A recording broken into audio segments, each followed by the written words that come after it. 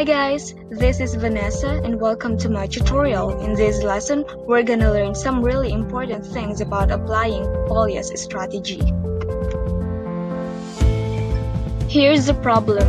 In a basketball league consisting of 10 teams, each team plays each of the other teams exactly 3 times. How many league teams will be played? Now, I'm gonna show you the solution. First stage, you need to understand the problem. There are 10 teams in the league and each team plays exactly 3 games each against each of the other teams. So the problem is to determine the total number of league games that will be played. Try the strategy of working a similar but simpler problem. Consider a league with only 4 teams denoted by A, B, C, and D in which each team plays each of the other teams only once. The diagram at the left illustrates that the games can be represented by line segments that connect the points A, B, C, and D. Since each of the four teams will play against each of the other three, we might conclude that this would result in 4 times 3 is equal to 12 games. However, the diagram shows only 6 line segments. It appears that our procedure has counted each game twice.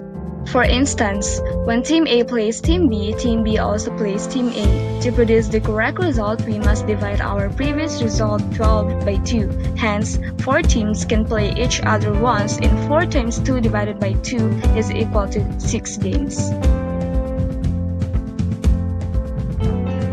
Using the process developed above, we see that 10 teams can play each other once in a total of 10 times 9 divided by 2 is equal to 45 games.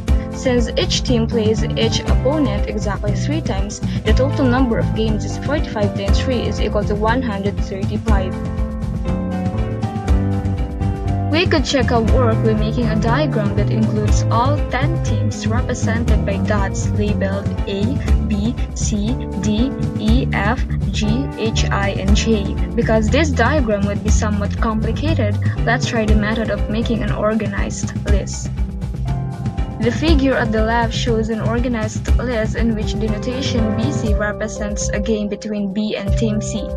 The notation CB is not shown because it also represents a game between Team B and Team C. This list shows that 45 games are required for each team to play each of the other teams once.